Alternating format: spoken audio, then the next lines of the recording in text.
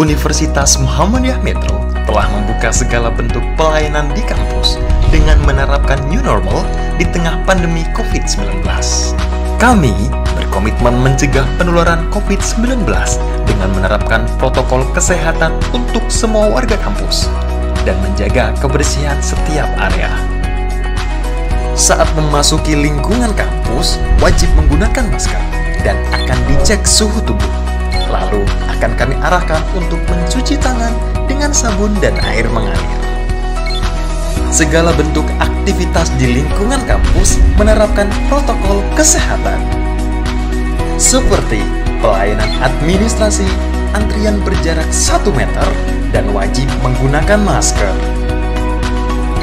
Kegiatan akademik tatap muka berjarak 1 meter, wajib menggunakan masker, dan jumlah mahasiswa per ruang maksimum 50% dari jumlah kapasitas ruang.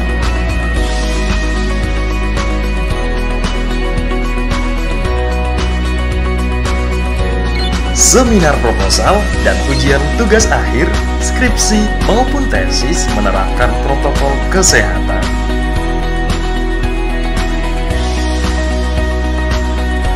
Layanan administrasi penerimaan mahasiswa baru menerapkan protokol kesehatan, menggunakan masker, cuci tangan, dan duduk dengan jarak 1 meter. Kegiatan rapat juga menerapkan protokol kesehatan.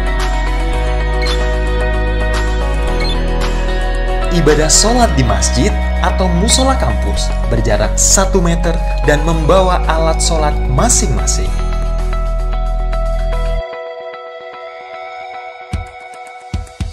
Di Universitas Muhammadiyah Metro, kesehatan dan keamanan prioritas layanan kami. Universitas Muhammadiyah Metro, solusi sukses masa depan.